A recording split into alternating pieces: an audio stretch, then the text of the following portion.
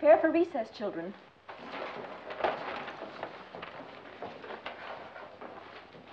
Now all walk out quietly like little ladies and gentlemen.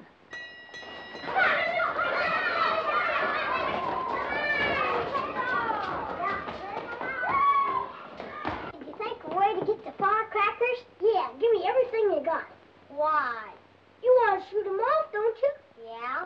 Well, over. Now, I'll do the talking, and you can snag your head.